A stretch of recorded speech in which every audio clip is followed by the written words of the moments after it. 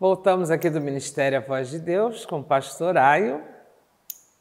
Pastor Aio, o senhor realmente tem uma forma diferente de passar o evangelho que eu já, já prestei atenção. O senhor falou sobre essa banda que o senhor criou, que inclusive participou da nossa mostra musical, que é magnífica. E o senhor faz uma festa da África, né? Que é também, para quem olhar, quem assistiu o filme Um Príncipe em Nova York, é mais ou menos por aí, uma coisa, né, muito barulho, muito. O que significa a festa da África para vocês? Um, Luzia, na verdade, quando eu cheguei no Brasil e percebi como que pessoas gostam da, da cultura africana, uhum. eu pensei em fazer o dia da Nigéria, que é dia 1 de outubro. E eu criei esta festa, primeiro, segundo ano.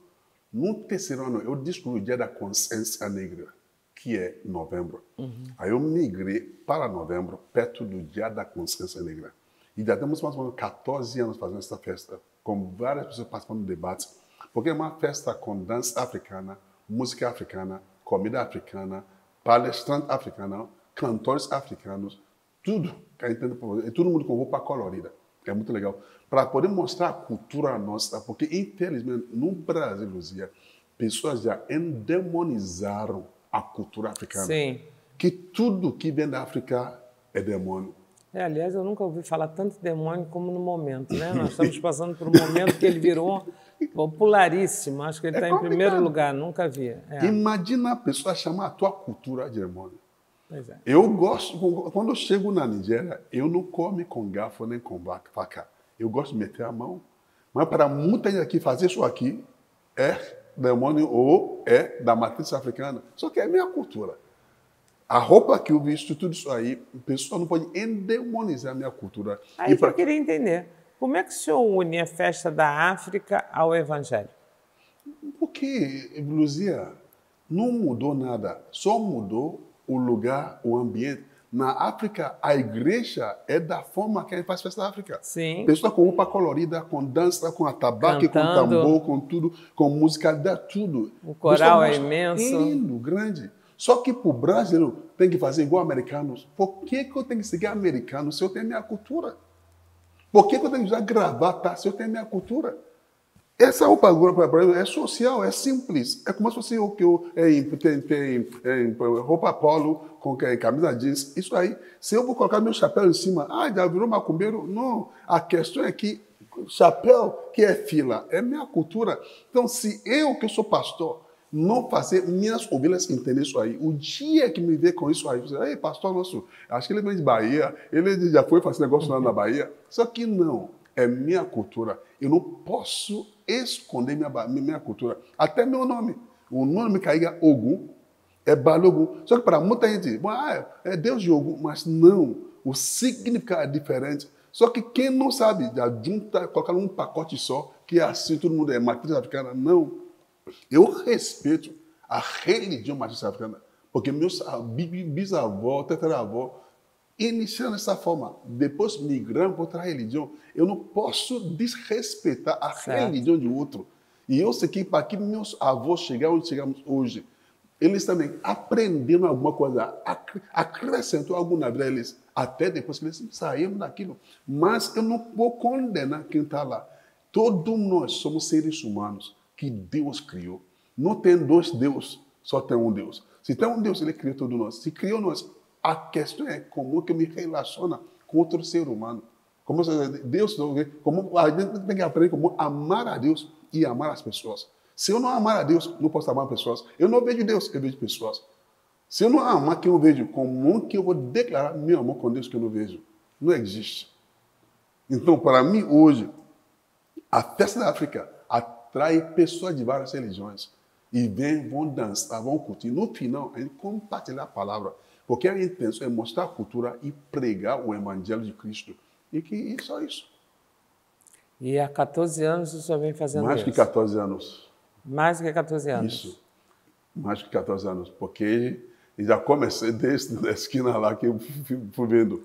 E ano que vem a intenção é fazer uma coisa bem grande e com cantores que vêm da África, com banda africana. Para o senhor, a música ela faz essa ligação com o sagrado?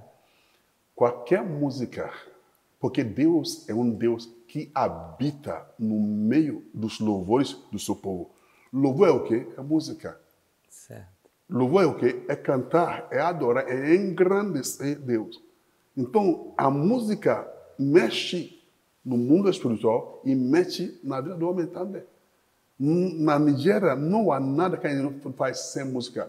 Alguém morreu, estamos cantando. Sim. Alguém nasceu, estamos cantando. Alguém está triste, a gente transforma em música. Tudo a gente canta para aliviar a alma. Então, qualquer situação, a gente cria música. Até quando desgraça, a gente cria música. Imagina quando ganha não consegue cantar para adorar Sim, Deus. virou até um meme. Ah, o, o enterro, da forma Dança. que vocês fazem. Minha mãe faleceu. Nós matamos cinco bois. Cachorro, nós carregamos dançando. Sim. E tu me mais que mil pessoas para comer boi, tem de cantor para cantar, porque é a cultura. Então, porque agora eu sou pastor, não faço. Não, a gente tem festa para celebrar. Não é celebrar o morto, mas celebrar a vida da pessoa, pelo que a pessoa fez. Já falei aqui, se eu morrer no Brasil, se não vai ter festa, vai ter churrasco, me manda para a Nigéria para me enterrar lá. Aqui no Brasil eles chamariam isso de burufim. Mas realmente acontece. Eu assisti uma na Angola e era mais ou menos isso. Era, foi uma grande festa, como acontece no México também, né? Existem países que celebram, porque, na verdade, o que se acredita é que a pessoa, Não aí morreu. sim, ela está nascendo para a vida eterna. Então, tem que se comemorar é. essa passagem que ela está fazendo, não é isso? Pastor, como conquistar o jovem para a religião?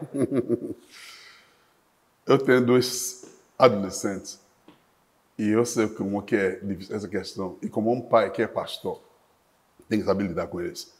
Você não pode obrigar a criança, a jovem, para fazer as coisas. Tem que conquistá-los.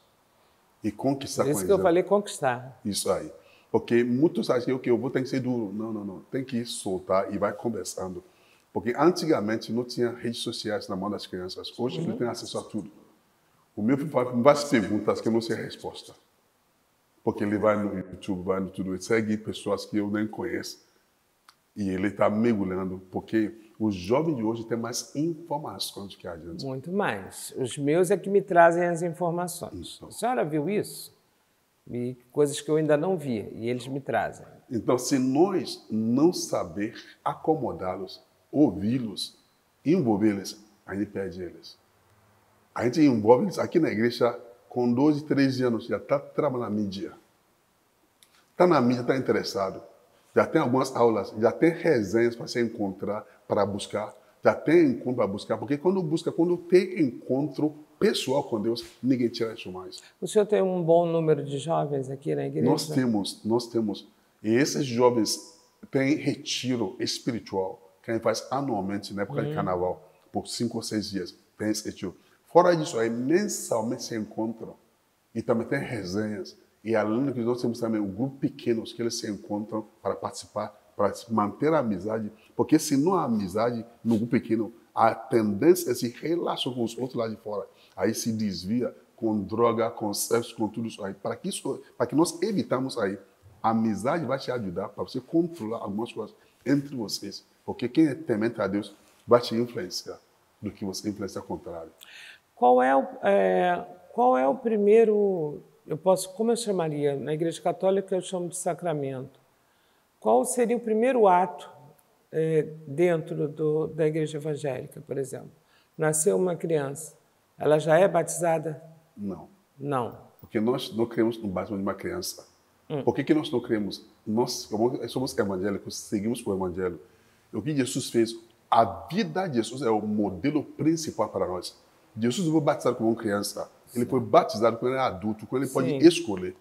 Jesus foi apresentado no templo. Então, quando nasce uma criança, a mãe, o pai traz para a igreja e nós apre- apresentamos, dedicamos a criança ao Senhor.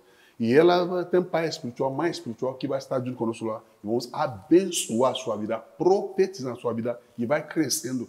Chegamos com 12 anos de idade, aí sim, ah, quero me batizar. Aí vai na classe de batismo, uma aula, de oito meses a um ano para aprender quem é Deus, que, o que é Espírito Santo, o que é, Espírito, é Jesus, um, o, que é, o, o que é igreja, o que é jejum, o que é oração. Toda a doutrina básica vai aprender aí, antes de batizar. Por exemplo, no dia 2 de novembro, eu vou batizar mais ou menos 30 pessoas agora. Certo. Então, são pessoas que estão na classe, que vão terminar a aula de agora, final deste mês. Aí vão se batizar. Então, é, eu vou usar a comparação para que as outras pessoas consigam entender. Okay. O que na Igreja Católica seria a primeira comunhão é o batismo. Não. Não? Porque o que, na Igreja Católica, batismo de criança, não só aqui é a apresentação. É. Aí depois entra a questão da Igreja Católica que a pessoa vai na primeira comunhão. Aí que entra batismo. Certo. Então, é isso que eu quero falar. É o batismo. batismo. Aqui é o batismo. batismo. Quer dizer, a criança tem que fazer o curso. Isso. Não é isso? isso. Para ele aprender. Isso. Só que, que nós é juntamos batismo com primeira comunhão. Como? Batizou hoje, amanhã já pode participar na comunhão. Certo. Porque é um de um conjunto. Batizou, por exemplo, vou batizar a pessoa no dia 2, que é uma quarta ou quinta. No domingo próximo, vai tomar a sua primeira comunhão conosco, que é a Santa Ceia do Senhor. E tomando, daí adiante, começar a tomar. E o casamento? Casamento também. Após que você se batizar, você casa. E para casar, depende de você. Você tem que temos aulas de, um, de noivos, que é para a pessoa se preparar como que é o casamento. Após que casar, temos curso Casar para Sempre, que vai ajudar a pessoa a entender como manter o casamento Fora disso aí, temos congressos, conferências sobre casamento para manter a família. E temos culto da família todo mês, onde nós pregamos, falamos sobre a família para poder ajudar. Então, é uma estrutura que, que a cada área tem.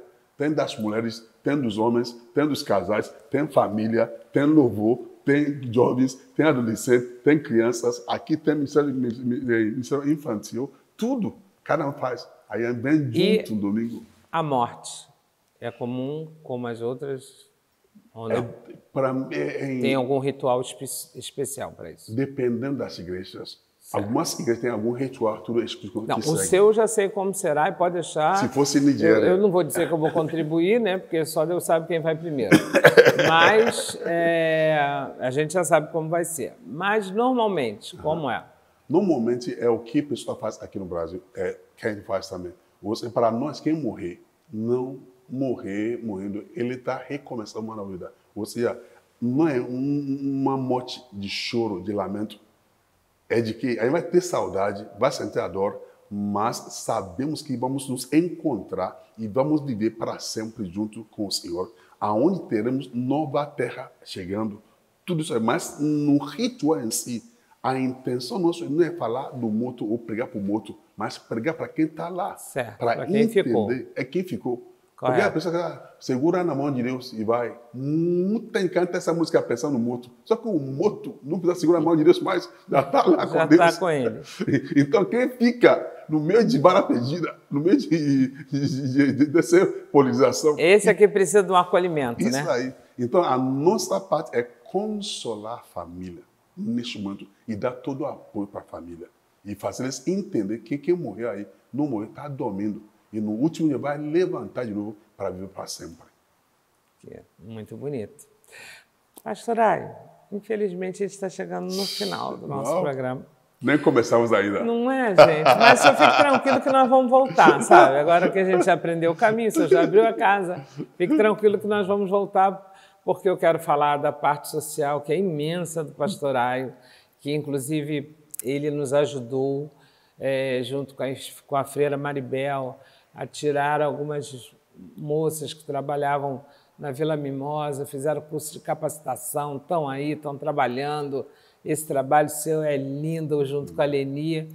Eu quero falar da sua banda, que é fantástica. Mateus. E Matheus está aí, se Deus quiser, vai estar conosco na Mostra Musical em março de 2023, de novo, do João Caetano, mas agora aberta ao público, que vai ser muito bom.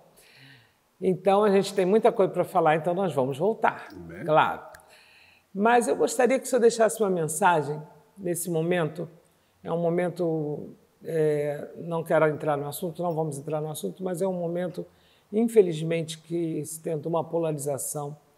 Queria que o senhor deixasse uma mensagem para as pessoas, que elas possam procurar a sua fé, procurar a sua religião, independente do, de qual seja aquela que ela crê. Mas, no seu caso, o senhor, como evangélico, gostaria que o senhor convocasse as pessoas, dar uma olhada para dentro de si e fazer aquilo que Deus nos pediu, né? Uhum. Amar o próximo como a si mesmo, não bater no próximo, né? Na verdade, eu, você que está nos assistindo, eu quero agradecer a Luzia por esse privilégio que eu chamo de ela estar entrevistando pela TV Alerj, fazendo esse bom trabalho. A questão que eu vejo disso aí, com esse momento que estamos vendo agora, é que tudo que está sendo falado e feito está gerando medo em muita gente. E esse medo leva a pessoa até tomar decisão errada, até ficar xingando, brigando sem necessidade. Até dentro da família, irmão contra irmão, pai contra filho, por causa de, um, de política que não que nem paga ninguém que nem sabe da existência sua. Eu sei que a gente quer um Brasil melhor, sim. Querer um Brasil melhor não quer dizer que eu tenho que brigar e discutir e deixar de ser amigo de um meu amigo. E, e esse medo, para mim, hoje, o, o, o, medo é um espírito. E por ser um espírito, um, a Bíblia nos diz que Deus não nos deu espírito de medo, mas de coragem e ousadia. Mas quando a pessoa começa a falar do que o outro fez mal, faz mal, toma cuidado, toma cuidado, aí começa a entrar medo. E o medo que cabeceia outros espíritos para entrar. Se o medo abrir a porta, outros vão entrar, aí vem enfermidade, vem nervosismo, vem pavor, sei o que vai acontecer agora. Isso que muitos que você está vendo na mídia estão falando. Mas, por favor, Deus te ama. Ele te criou na sua imagem e semelhança. Ele não falha. Ele não te criou para começar a depois pensar o que eu vou fazer com quem eu criou. Não. Ele, antes de criar, sabia da sua necessidade na terra. É importante você descobrir este amor de Deus. Quando esse amor de Deus inunda o teu coração, muda a tua forma de ver as coisas, tudo vai passar, Luzia. A gente está aqui hoje, daqui a 50 anos, não estamos aqui mais. Quem estava aqui antes de nós já foi embora. Então, por que, que eu vou ficar me, sabe, brigando sem necessidade? Vamos aprender a amar. Deus é o amor. Se Ele é amor, vamos amar e não ficar nessa briga. Vamos relacionar, vamos conversar. E eu não posso te obrigar a ser como eu. Não vou me forçar a ser igual a você. O importante é amar um ao outro, como Deus nos amou. Isso mesmo. Bem, eu achei fantástico esse programa, até porque eu já queria há muito tempo entrevistar o pastor Aio. Quero agradecer a todos vocês que estão aqui conosco Obrigado. e não nos percam, porque segunda-feira que vem estamos aqui no mesmo horário, na TV Alerj, canal do Povo.